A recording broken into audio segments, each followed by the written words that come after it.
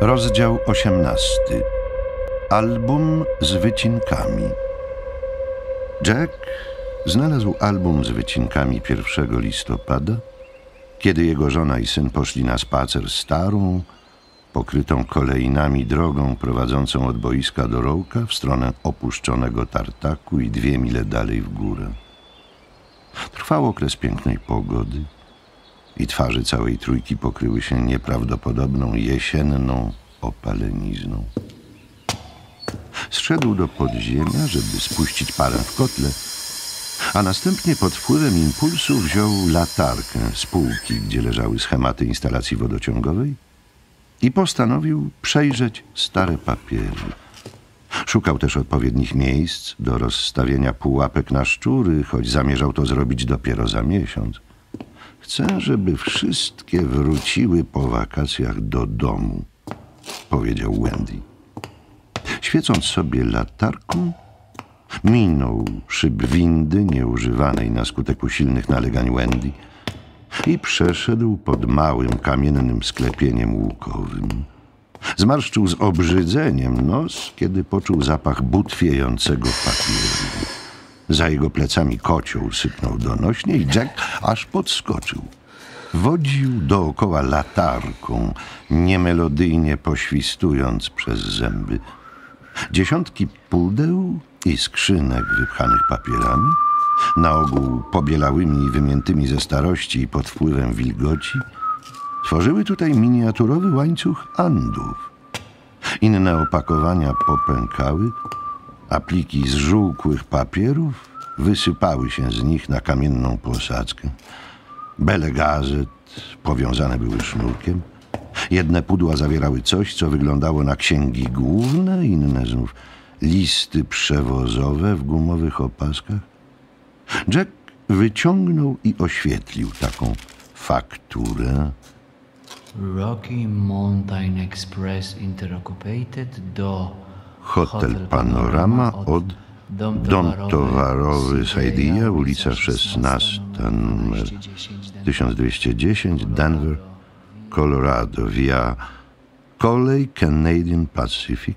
Zawartość 400 skrzynek papieru toaletowego Delcia, po 12 tuzinów rolek w skrzynce. Podpis D i F, data 24 sierpnia 1954. Jack z uśmiechem upuścił kartkę na powrót do pudła. Uniósł latarkę. Snop światła natrafił na wiszącą żarówkę, niemal ukrytą pod pajęczynami i pozbawioną łańcuszka, za który się pociąga. Jack wspiął się na palce i spróbował ją dokręcić. Rozbłysła nikłym blaskiem. Wziął tę samą co poprzednio fakturę i przetarł nią żarówkę. Niewiele to pomogło. Z latarką w ręce wędrował więc między pudłami i belami papieru w poszukiwaniu szczurzych tropów. Szczury tu były, ale dość dawno temu, może przed kilku laty. Znalazł trochę bobków rozsypujących się ze starości i parę opuszczonych gniazd ze strzępków papieru. Z jednej paczki wyciągnął gazetę i popatrzył na nagłówek. Johnson obiecuje spokój w okresie przejściowym. Mówi o kontynuowaniu w nadchodzącym roku prac rozpoczętych przez JFK. Gazeta Rocky Mountain News nosiła datę 19 grudnia 1963. Z powrotem upuścił ją na stos. Sądził, że fascynuje go banalność historii, wyczuwalna, gdy przegląda się najnowsze wiadomości sprzed 10 czy 20 lat. Znalazł luki w poukładanych w stosy gazetach i rejestrach. Brakowało ich od roku 1937 do 1945, od 1957 do 1960 i od 1962 do 1963. W tych okresach przypuszczalnie hotel był zamknięty, a frajerzy myśleli, jak zrobić forsę. Wyjaśnienia Olmena dotyczące zmiennych kolei losu panoramy nadal nie brzmiały w uszach Jacka całkiem prawdziwie. Przecież już samo malownicze położenie panoramy powinno jej zapewnić stałą rentowność. Zawsze były w Ameryce bogate, wędrowne ptaki i zdaniem Jacka tu się powinny zatrzymywać w swoich wędrówkach. Pasowało to nawet. Waldorf w maju, Bar Harbor House w czerwcu i lipcu, panorama w sierpniu i w początkach września przed dalszą drogą na Bermudy do Hawany, Rio czy gdzieś indziej. Znalazł stosik starych spisów gości, które potwierdziły jego teorię.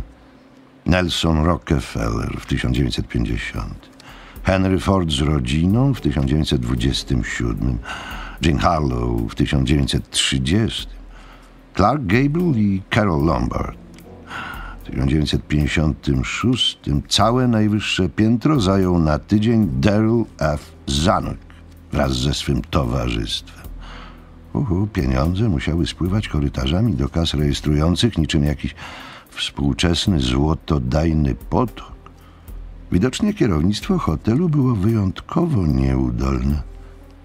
Tu także, nie tylko w nagłówkach gazet, kryła się historia. Pogrzebana wśród ksiąg meldunkowych i rachunkowych, wśród kwitów za jedzenie podawane do pokoi, niełatwo dostrzegalna. W roku 1922 Warren G. Harding zamówił całego łososia o 10 wieczorem i skrzynkę piwa Coors, ale z kim jadł i pił? Czy grał w pokera? Omawiał strategię? Co robił? Jack spojrzał na zegarek i ze zdziwieniem stwierdził, że spędził w podziemiu 45 minut. Ubrudził ręce po pachy i pewnie cuchnął. Postanowił pójść na górę i przed powrotem Wendy i Deniego wziąć prysznic. Wolno kroczył między górami papieru, a tymczasem umysł jego działał sprawnie, rozpatrywał różne możliwości z krzepiącym pośpiechem. Jack nie czuł się tak od lat. Nagle wydało mu się, że książka, którą pół żartem obiecał sam sobie, może powstać naprawdę. Może nawet jest tutaj, w tych nieporządnych stertach dokumentów. Mogłaby to być powieść lub książka historyczna, albo jedno i drugie, coś długiego, co tutaj wzięłoby początek, ale zatoczyłoby szerokie kręgi. Stanął pod zasnutą pajęczynami żarówką, bez zastanowienia wyjął z tylnej kieszeni chustkę i otarł nią wargi. I właśnie wtedy zobaczył album z wycinkami. Na lewo od niego pięć ustawionych jedna na drugiej skrzynek tworzyło jakby krzywą wieżę w pizie. Górna skrzynka zawierała dalsze dokumenty i faktury. Na samym wierzchu, od nie wiedzieć jak dawna, spoczywał gruby album z wycinkami. Oprawiony w białą skórę i zszyty złotym sznurem, zawiązanym na dwie ozdobne kokardki. Jack podszedł zaintrygowany i wziął go do ręki. Okładkę pokrywała gruba warstwa kurzu, podniósł album do ust, zdmuchnął kurz i zajrzał do środka, skąd wyfrunęło drukowane zaproszenie. Jack chwycił kartonik w powietrzu, zanim zdążył spaść na kamienną posadzkę. Na pięknym kremowym papierze w oczy rzucał się przede wszystkim wypukły, tłoczony widok panoramy.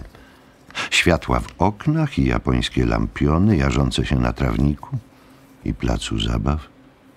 Wydawało się, że nieomal można wejść do środka do hotelu Panorama sprzed 30 lat. Horacy M. Derwent ma przyjemność zaprosić pana panią na bal maskowy z okazji uroczystego otwarcia hotelu Panorama. Obiad o ósmej wieczorem, zrzucenie masek i tańce o północy. 29 sierpnia 1945 roku. Uprasza się o potwierdzenie przybycia. Obiad o ósmej. Zrzucenie masek o północy. Jack prawie ich widział w jadalni. Najbogatszych mężczyzn w Ameryce i ich kobiety. Smokingi i lśniące, wykrochmalone koszule, suknie wieczorowe, grającą orkiestrę, połyskujące pantofle na wysokich obcasach. Słyszał brzęk kieliszków, wesołe wystrzały korków od szampana. Wojna się skończyła. Przyszłość leżała przed nimi jasna i promienna. Ameryka odgrywała wobec świata rolę prawdziwej potęgi, wreszcie tej roli świadoma i wreszcie z nią pogodzona. A później, o północy, sam Derwent zawołał Zrzucić maski! Zrzucić maski! Maski spadają i... I mur czerwony niepodzielnie zawładły wszystkim. Jack zmarszczył brwi. Zaraz, kto to napisał? Poe. Wielki pismak amerykański. I niewątpliwie panoramie, tej oświetlonej, rozjarzonej panoramie z zaproszenia, które trzymał w ręce, bardzo daleko było do Edgara Alana Poe'ego. Włożył zaproszenie z powrotem do albumu i odwrócił kartkę. Pod naklejonym wycinkiem z jednej z denwerskich gazet wydrapano datę 15 maja 1947. Elegancki hotel górski znów otwarty, wśród gości same gwiazdy. Zdaniem Derwenta panorama będzie światową osobliwością. David Felton, nasz specjalny reporter. Hotel Panorama liczy sobie 38 lat. i w tym czasie otwarto go raz, a potem powtórnie, Nigdy jednak w tak wielkim stylu i z takim rozmachem, jak obiecuje to zrobić Horacy Derwent, tajemniczy milioner kalifornijski, a zarazem najnowszy właściciel. Derwent, nie kryjąc się z tym, że ostatnie przedsięwzięcie kosztowało go ponad milion dolarów, a zdaniem niektórych zaś należałoby raczej powiedzieć 3 miliony, Twierdzi, że nowa panorama będzie jedną ze światowych osobliwości i że każdy, kto spędzi noc w tym hotelu, będzie ją pamiętał przez następne 30 lat. Derwent, rzekomy posiadacz solidnego pakietu akcji Las Vegas, na pytanie, czy zakup i remont panoramy są pierwszym strzałem oddanym w bitwie o zalegalizowanie w Colorado domów gry, udzielił przeczącej odpowiedzi z uśmiechem. Hazard byłby czymś niegodnym panoramy, powiedział magnat lotniczy, filmowy, zbrojeniowy i okrętowy. I nie myślicie, że chcę zrujnować Vegas. Nie mogę tego zrobić, bo mam tam zbyt wielu krupierów. Zabiegi kuluarowe zmierzające do zalegalizowania hazardu w Colorado nie leżą w moim interesie. Mijałyby się z celem. Kiedy panorama zostanie oficjalnie otwarta, Jakiś czas temu, po zakończeniu robót, odbyło się tam wielkie, wspaniałe przyjęcie. W świeżo odmalowanych, wytapetowanych i umeblowanych pokojach zamieszkają same gwiazdy. same gwiazdy, Począwszy od projektanta Chick, Korbata Stani, a na Jack odwrócił kartkę z nieprzytomnym uśmiechem.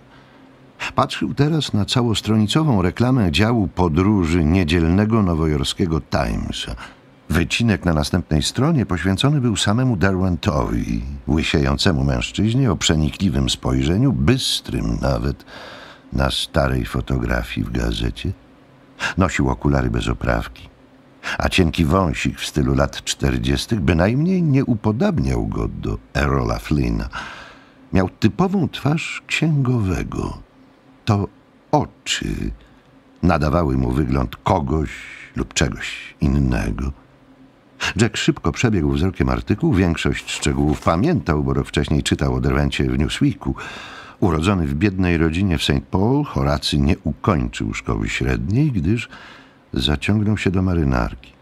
Tam szybko awansował, lecz zrezygnował ze służby w następstwie zaciekłego sporu o patent na nowy typ śruby okrętowej, którą zaprojektował. Jak można było przewidzieć, w tych zmaganiach między marynarką a nikomu nieznanym młodym człowiekiem zwyciężył wuj Sam. Ale wuj Sam nigdy już nie dostał żadnego z mnóstwa patentów Horacego Derwenta. Na przełomie lat 20. i 30. Derwenta zainteresowało lotnictwo. wykupił zbankrutowaną spółkę zajmującą się opylaniem pól z samolotów, przekształcił ją w pocztę lotniczą i prosperował.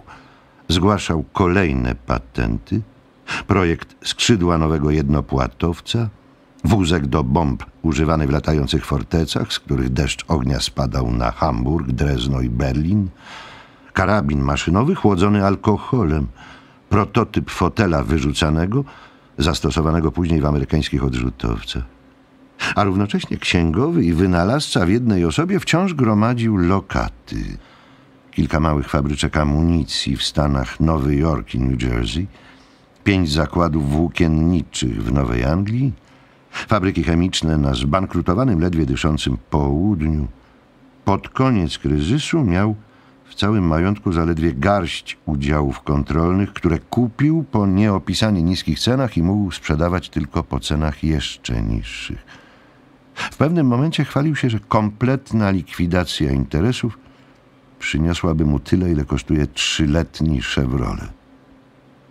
Jack przypomniał sobie pogłoski, jakoby niektóre sposoby stosowane przez Derwenta w celu utrzymania się na powierzchni miały niezbyt przyjemny posmaczek. Jego nazwisko kojarzono z przemytem alkoholu, prostytucją na środkowym zachodzie, szmuglem na przybrzeżnych obszarach południa, gdzie posiadał fabryki nawozów sztucznych, wreszcie z udziałami w powstających na zachodzie domach gry. Zapewne najsłynniejszą jego lokatą było podupadające studio Top Mark, w którym nie nakręcono żadnego kasowego filmu od śmierci małej Marjorie Morris, zmarłej w roku 1934 wskutek przedawkowania heroiny. Gwiazdka ta miała lat 14, a jej specjalnością były role słodkich siedmiolatek, zapobiegających rozkładowi małżeństw i ratujących psy niesłusznie oskarżane o zagryzanie kurcząt. Studio Top Mark wyprawiło jej najwspanialszy w dziejach pogrzeb hollywoodzki. W wersji oficjalnej mała Marjorie nabawiła się wyniszczającej choroby podczas występów w nowojorskim sierocińcu. I ten czy ów cynik sugerował, że tak hojnie sypnęło dolcami, wiedząc, iż grzebie samo siebie. Kierownikiem studia uczynił Derwent obrotnego biznesmena i skończonego maniaka seksualnego nazwiskiem Henry Finkel. I w ciągu dwóch lat poprzedzających Pearl Harbor nakręcono tam 60 filmów. 55 urągało urzędowi Hayesa i szydziło sobie z tej instytucji. Pięć pozostałych były to rządowe filmy oświatowe. Długometrażówki odniosły ogromny sukces. W jednej z nich niewymieniony z nazwiska projektant kostiumów kazał bohaterce nosić stanik bez ramionczek w scenie wielkiego balu, na którym pokazała wszystko, wyjąwszy może znamie tuż pod pośladkiem. Dermentowi przypisano również i ten wynalazek, więc wyrosła jego dobra, czy raczej zła, sława. Wzbogacił się na wojnie i pozostał bogaty. Mieszkał w Chicago, pokazywał się z rzadka, chyba że na posiedzeniach Rady Nadzorczej Przedsiębiorstw Derwenta, którymi kierował żelazną ręką. Posiadał rzekomo linie lotnicze United w Las Vegas. Miał udziały kontrolne w czterech hotelach i kasynach i coś do powiedzenia w co najmniej sześciu innych. Rozległe interesy w Los Angeles i całych Stanach Zjednoczonych. Przyjaźnił się jakoby z rodami panującymi, prezydentami, królami świata przestępczego, a zdaniem wielu osób był najbogatszym człowiekiem na Ziemi. Nie potrafił jednak zrobić interesu na panoramie, pomyślał Jack, odłożywszy na chwilę album z wycinkami i wyciągnąwszy z górnej kieszeni notes i ołówek automatyczny, który zawsze nosił przy sobie, zapisał Sprawdzić W. Daru, Bibl, Sidewider. Schował notes i znowu wziął album do ręki. Minę miał zaaferowaną, spojrzenie zamyślone. Przewracając kartki, co chwila ocierał dłonią usta. Dalsze materiały przeglądał pobieżnie. I tylko notował sobie w pamięci, że z czasem musi je przeczytać dokładniej. Na wielu stronach powklejane były komunikaty prasowe. Kogoś tam oczekiwano w panoramie w przyszłym tygodniu. Ktoś inny będzie podejmował gości w salonie Colorado za czasów Derwenta, zwanym Salonem Czerwonego Oka. Wiele osób podejmujących gości nosiło nazwiska znane z Vegas, a wielu gości było dyrektorami i gwiazdami studia Top Mark. A potem wycinek datowany 1 lutego 1952 roku. Milioner Dyr sprzedał udziały w Colorado. Transakcja zawarta z udziałowcami kalifornijskimi obejmuje panoramę i inne lokaty. Podaje do Podaje do wiadomości Derwent. Rodney Conklin, redaktor finansowy. Wczoraj chicagowskie biura monolitycznych przedsiębiorstw Derwenta podały w zwięzłym komunikacie do wiadomości, że milioner, a może miliarder Horacy Derwent sprzedał swoje aktywa w Colorado w oszałamiającej finansowej rozgrywce o władzę, która zostanie zakończona 1 października 1954 roku. Derwent ma udziały w gazie ziemnym, węglu, energii hydroelektrycznej spółce budowlanej Colorado Sunshine Incorporated, która posiada na własność albo ma opcję na ponad 500 tysięcy akrów ziemi w Colorado. Najsłynniejsza nieruchomość Derwenta w Colorado, hotel Panorama, już została sprzedana, co sam podał wczoraj do wiadomości, kiedy udzielał jednego z nielicznych w swym życiu wywiadów. Hotel nabyła Hotel nabyła kalifornijska, kalifornijska grupa grupa udziałowców, na której stoi stoi Charles Charles Grondin, On dziś- on dziś dyrektor kalifornijskiej spółki budowlanej. Derwent nie chciał wprawdzie mówić o cenie, lecz źródła dobrze poinformowane sprzedał wszystko jak leci. Nie tylko panoramę, ale jakoś... jakoś... Jack odtarł wargi i zapragnął się napić. Z drinkiem łatwiej byłoby to przełknąć. W dalszym ciągu przewracał kartki. Grupa kalifornijska otworzyła hotel na dwa sezony, a następnie sprzedała go miejscowej spółce uzdrowiska górskie. Ta zbankrutowała w 1957 w atmosferze oskarżeń o korupcję, wygodne urządzanie się przez niektóre osoby i oszukiwanie akcjonariuszy. Prezes spółki zastrzelił się w dwa dni po otrzymaniu wezwania do sądu. Do końca dekady hotel stał zamknięty. Poświęcono mu tylko jedną wzmiankę, komunikat w niedzielnej gazecie noszący tytuł Wspaniały ongiś hotel popada w ruinę. Na widok fotografii Jackowi ścisnęło się serce. Farba obłażąca z frontowej werandy, trawnik nierówny i wyłysiały, szyby w oknach potłuczone podmuchami wichury i kamieniami. Ten wątek również złożyłby się na książkę, gdyby istotnie Jack ją napisał. Wątek Feniksa ginącego w popiołach, aby się na nowo narodzić. Obiecał sam sobie troszczyć się o hotel, troszczyć się jak najlepiej. Zupełnie jakby dopiero teraz zdołał w pełni pojąć ogrom ciążącej na nim odpowiedzialności. Odpowiedzialności niemal historycznej. W 1961 roku czterech pisarzy, w tym dwóch laureatów Nagrody Pulitzera, wydzierżawiło panoramę i otwarło w niej szkołę twórców. Trwała rok. Jeden student upił się w swoim pokoju na trzecim piętrze, jakimś sposobem wypadł przez okno i zginął na betonowym tarasie poniżej. Gazeta sugerowała, że mogło to być samobójstwo. Każdy duży hotel ma swoje skandale, powiedział Watson. Tak jak każdy duży hotel ma swojego ducha. Dlaczego? No bo ludzie przyjeżdżają i odjeżdżają. Raptem wydało się Jackowi, że niemal wyczuwa ciężar panoramy przygniatający go z góry. Brzemię 110 pokoi gościnnych, magazynów, kuchni, spiżarni, zamrażalni, salonu, sali balowej, jadalni.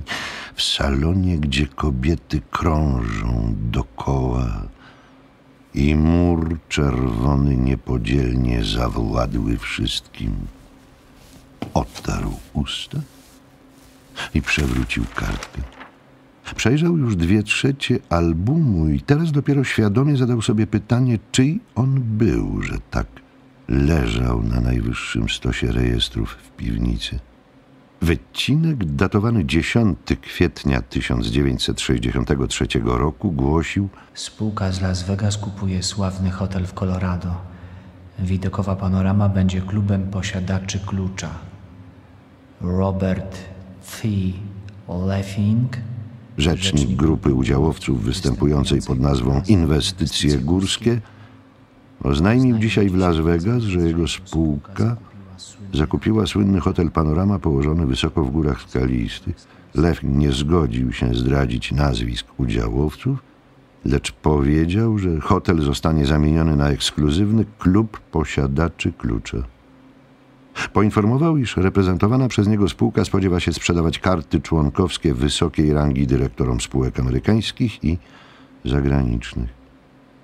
Do inwestycji górskich należą również hotele w Montanie, Wyoming i Utah. Panorama zyskała światowy rozgłos w latach 1946-1952, kiedy jej właścicielem był nieuchwytny, nieuchwytny multimilioner Horacy Derwent, który Na następnej stronie znajdowała się króciutka notatka datowana cztery miesiące później. Panoramę otwarto pod nowym zarządem. Najwyraźniej reporter nie zdołał się dowiedzieć, kim byli posiadacze kluczy. Może zresztą go to nie interesowało. Dość, że nie wymienił żadnego nazwiska ani nazwy, prócz inwestycji górskich. Jack nigdy jeszcze nie słyszał, by jakaś spółka funkcjonowała pod równie anonimowym szyldem. Wyjąwszy sieć sklepów z rowerami i częściami rowerowymi w zachodniej części Nowej Anglii, zwaną Interes Spółka Akcyjna. Na widok wycinka wklejonego na następnej stronie zamrugał powiekami. milioner Derwent wraca do Colorado tylnymi drzwiami. Dyrektorem inwestycji górskich okazuje się Charles Grondin, Rodney Conklin, redaktor finansowy. Hotel Panorama, pięknie położony w górach Colorado, pałac rozrywki, niegdyś osobista zabawka milionera Horacego Derwenta, znalazł się w centrum powikłań finansowych, które dopiero teraz zaczynają wychodzić na jaw.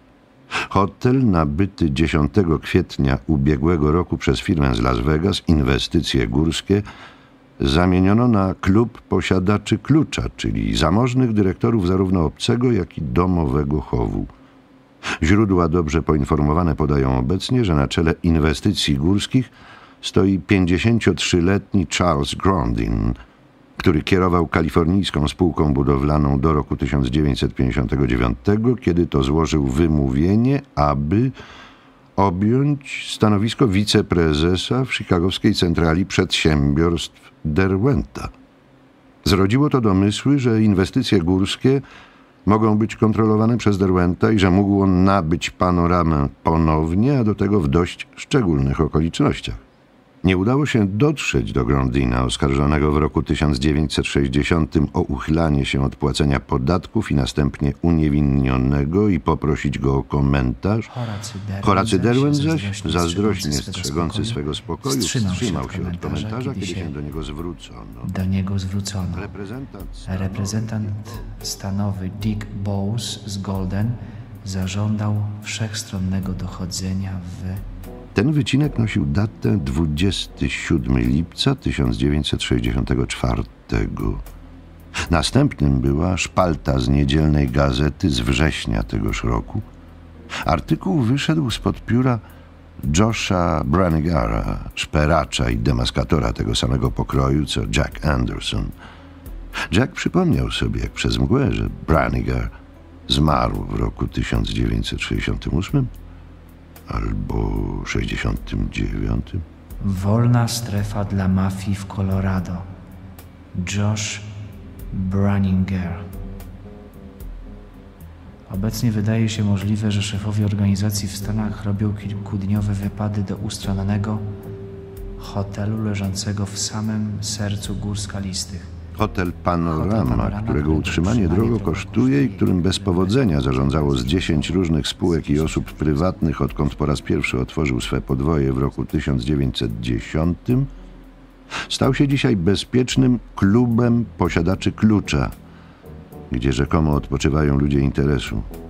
Chodzi o to, jakie naprawdę interesy prowadzą ci posiadacze kluczy.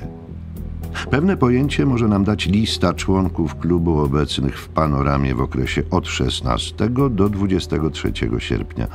Spis ten zdobył dawny pracownik inwestycji górskich, które pierwotnie uchodziły za spółkę należącą do przedsiębiorstw Derwenta. Teraz wydaje się bardziej prawdopodobne, że jeśli Derwent w ogóle ma udziały w inwestycjach górskich, to o wiele mniejsze niż kilku baronów szulerki z Las Vegas. A tych samych szefów od hazardu łączono w przeszłości zarówno z podejrzanymi, jak i skazanymi królami świata przestępczego. Słoneczny sierpniowy tydzień w panoramie spędzili Charles Grondin, prezes inwestycji górskich. Kiedy w lipcu tego roku stało się wiadome, że stoi za sterem tejże spółki, ogłoszono ze sporym opóźnieniem, że uprzednio zrezygnował ze stanowiska w przedsiębiorstwach Derwenta. Srebrnogrzywy Grondin, który nie zgodził się udzielić mi wywiadu, stawał raz przed sądem pod zarzutem uchylania się od płacenia podatków i został uniewinniony w 1960. Charles, Baby Charlie Battalia, 60-letni akcjonariusz z Vegas, posiadający udziały kontrolne w Dolcu i Szczęśliwych Kościach na Stripie, Batalię łączy zażyła przyjaźń z Grondinem. Historia jego karalności sięga roku 1932, kiedy to stawał przed sądem pod zarzutem morderstwa popełnionego w stylu świata przestępczego na Jacku Daci Morganie i został uniewinniony. Władze federalne podejrzewają, że ciągnie zyski z handlu narkotykami, prostytucji i płatnych morderstw, lecz Baby Charlie siedział zaledwie raz za uchylanie się od płacenia podatku dochodowego w latach 1955-1956. Richard Scarm, główny udziałowiec automatów rozrywkowych Zabawa. Zabawa produkuje automaty dla odbiorców z Nevady, kręgle mechaniczne i szafy grające Melodia za monetę dla reszty kraju. Siedział za napaść z bronią w ręku w 1940, za noszenie ukrytej broni w 1948 i za zamiar popełnienia oszustwa podatkowego w 1961. Peter Zeiss, obecnie pod 70, importer z siedzibą w Miami. W ciągu ostatnich pięciu lat Zeissowi groziło deportowanie jako osobie niepożądanej. Dostał dwa wyroki za przyjmowanie i ukrywanie rzeczy kradzionych w 1958 i zamierzone oszustwo podatkowe w 1954. Pete Zeiss, uroczy, dystyngowany i dworny, zwany przez bliskie mu osoby Papa, stawał przed sądem pod zarzutami zabójstwa i współudziału w zabójstwie. Ma liczne akcje, zabawy z Karna. Wiadomo też, że jest udziałowcem czterech kasyn w Vegas. Vittorio Genelli, znany również jako Vito Rembacz, sądzony dwukrotnie za zabójstwa w stylu gangsterskim, w tym jedno siekierą na bostońskim wiceszefie mafii Franku Scoffim. Genelli, stawiany w stan oskarżenia 23 razy, sądzony 14 razy, skazany był zaledwie raz za kradzież w sklepie w roku 1940. W ostatnich latach odgrywa jakoby wielką rolę w firmach organizacji na Zachodzie skupionych w Las Vegas. Carl Jimmy Riggs Prashkin, inwestor z San Francisco, rzekomo następca potężnego Genellego. Praszkin ma duże pakiety akcji w przedsiębiorstwach Derwenta, inwestycjach górskich, automatach rozrywkowych Zabawa i trzech kasynach w Vegas. Choć w Ameryce Praszkin jest czysty, w Meksyku oskarżono go o oszustwo. Zarzut jednak wycofano szybko, zaledwie po trzech tygodniach. Sugerowano, że Praszkin może kierować praniem pieniędzy wpływających z kasyn w Las Vegas i skanalizowaniem grubych dolarów na konto legalnych dolarów.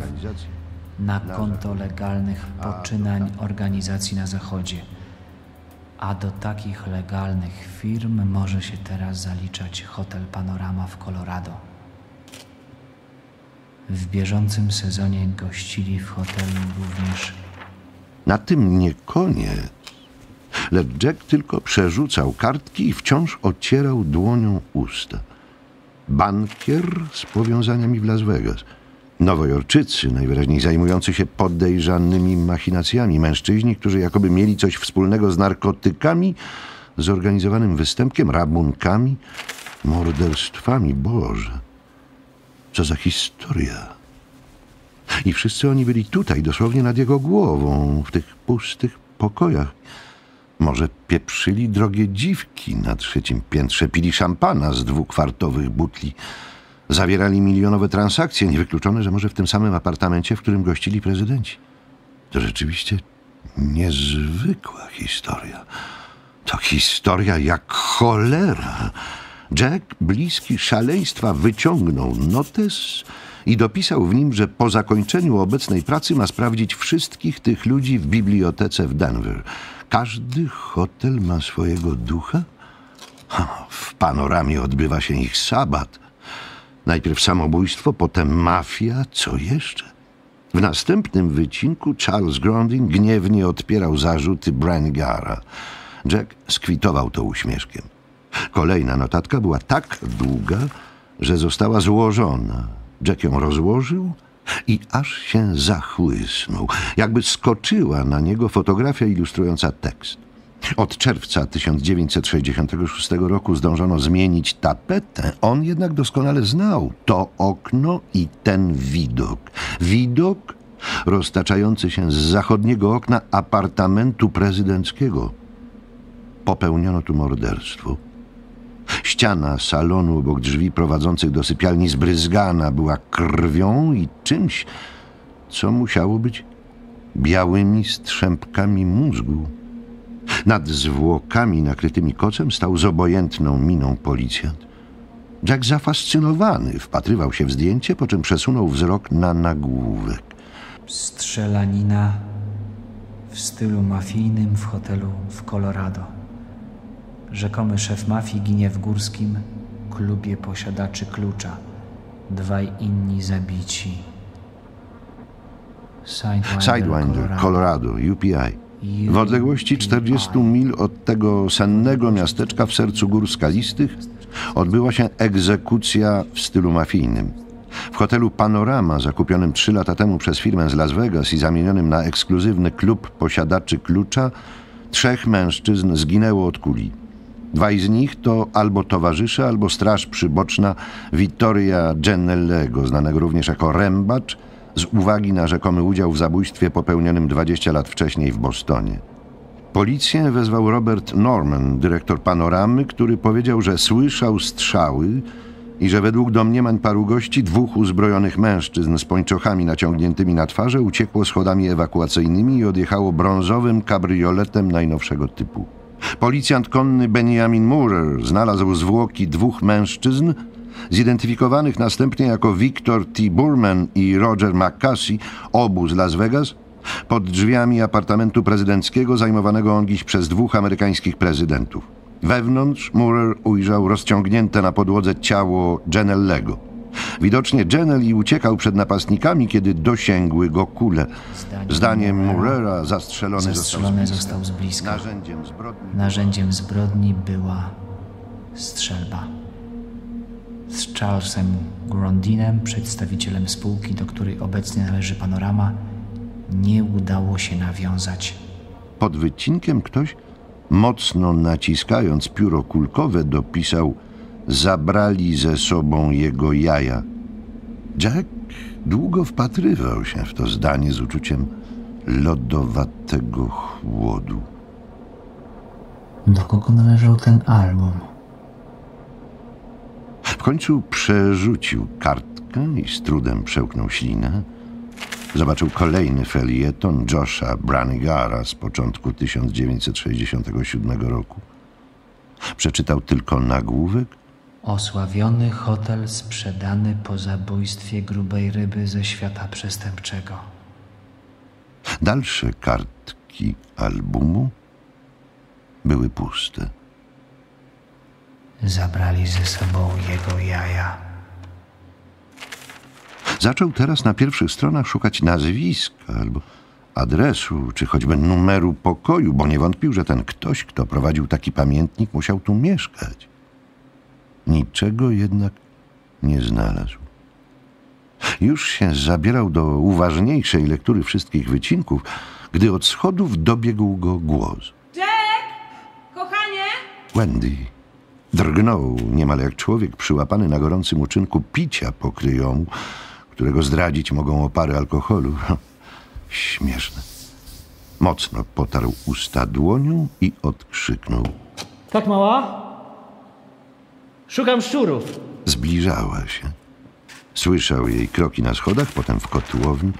Szybko, bez namysłu, wepchnął album pod stertę rachunków i faktur. Kiedy Wendy przechodziła pod łukowym sklepieniem, stanął wyprostowany. Coś ty tu robił tak długo? Dochodzi trzecia. Już tak późno? Odparł z uśmiechem. E, zacząłem szperać w tych śmieciach. Chyba chciałem ustalić, gdzie pogrzebano ciała. Słowa te dokuczliwie zadźwięczały mu w głowie. Podeszła bliżej i spojrzała na niego, on zaś bezwiednie, niezręcznie zrobił krok w tył. Wiedział o co chodzi. Wendy próbowała się zorientować, czy nie zalatuje od niego jakimś trunkiem. Ona zapewne nawet sobie tego nie uświadamiała, lecz on tak. I poczuł zarówno wyrzuty sumienia, jak i gniew. Wargi ci krwawią. Rzekła dziwnie bezbarwnym tonem. Co? Przyłożył rękę do ust i skrzywił się od lekkiego ukłucia bólu. Na palcu wskazującym miał krew. Spotęgowały się wyrzuty sumienia. Znów tarłeś sobie usta. Powiedziała. Spuścił wzrok i wzruszył ramionami. Tak, chyba tak. Przeżyłeś piekło, prawda? Nie, nie było aż tak źle. Ale teraz jest ci lżej? Podniósł oczy i zmusił nogi do ruchu. Ledwie drgnęły, wszystko stało się łatwiejsze. Podszedł do żony i objął ją w talii. Odgarnął kosmyk jasnych włosów i pocałował Wendy w szyję. Tak. Gdzie Denny? Och, kręci się gdzieś tutaj na dworze, zaczęło się chmurzyć. Głodny jesteś? Z udaną lubieżnością przesunął ręką po jędrnych, obciśniętych dżinsami pośladkach. Jak miś, madam. Ostry z ciebie zawodnik. Nie zaczynaj, jeśli nie możesz dokończyć. Rzeczy, madam?